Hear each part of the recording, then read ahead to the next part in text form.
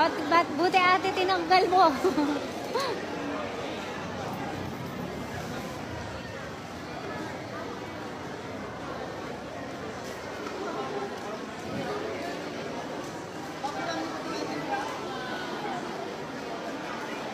Ang Init.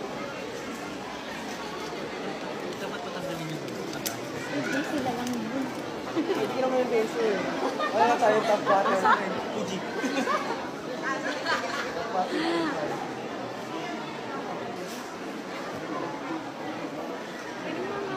Nahilo ako na pumuti.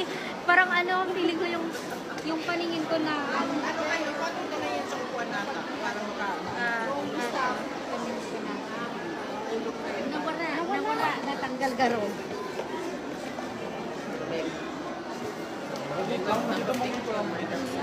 Ha? Pwede po ibato na lang po natin ito sa ano, sa May atraso. pink pa lang. Po.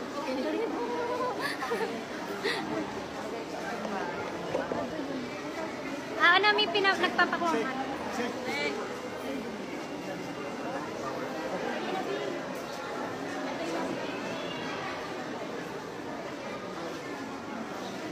Ang dami tao, sobrang init.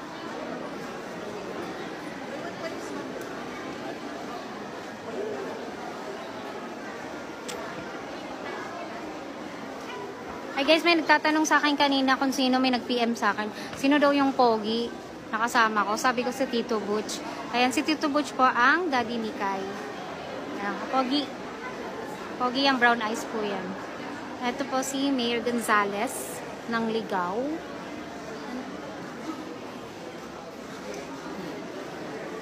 Ayan, pero ah, lahat ng relief goods ay coming from Kailin and Kobe. Ano, shout out ko rin nga po para to isang artistang kasama namin. Ayan. Ala to, kalalabas lang po ng bahay ni Kuya. Hello, hello. O, nasa live yan, ha?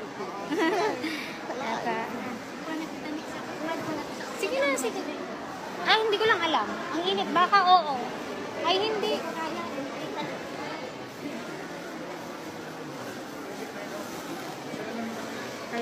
nire-ready pa lang. OMG!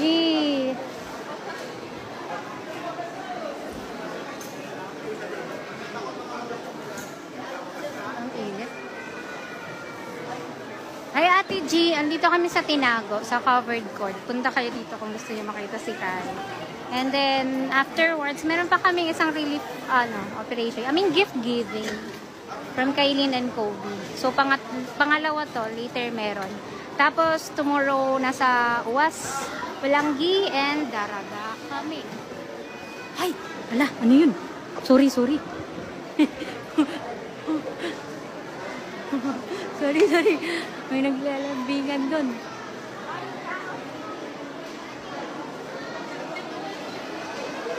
Ah, Galing ng photographer ah.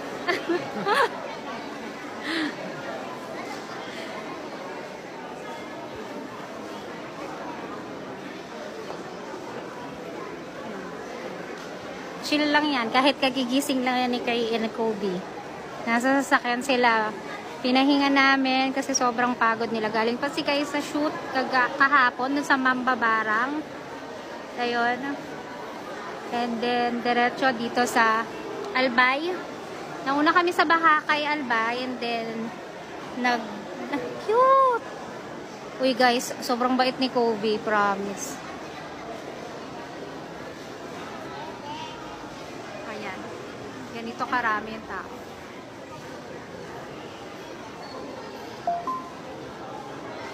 May poging photographer po. Ah! Ayan, lolo po ni Kai. Si Papa Liton. Lolo po yan ni Kai. Again, good afternoon to everyone.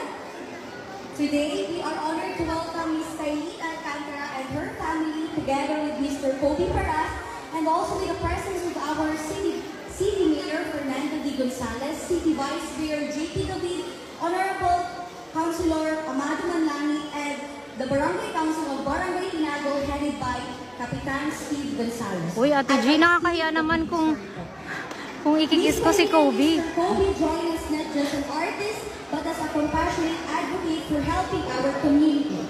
Through their word and presence, they bring a message of hope and unity, reminding us the power of art to heal and bring communities together.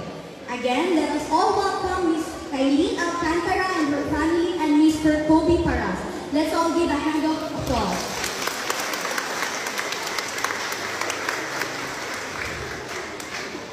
For now, uh, may request Ms. Kailin Alcantara for a little message, short message rather, for bringing us a little help and love with Barangay Tinago.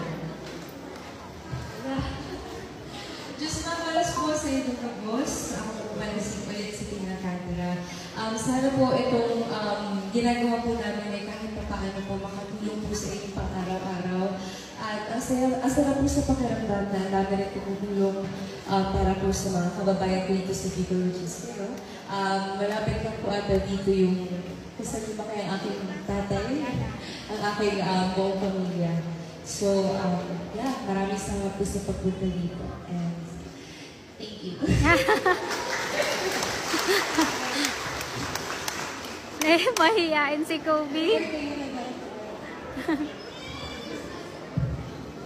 Uh, thank you very much. Ang aming invitado. Uh, nagpapalipado ng- Guys, later na lang.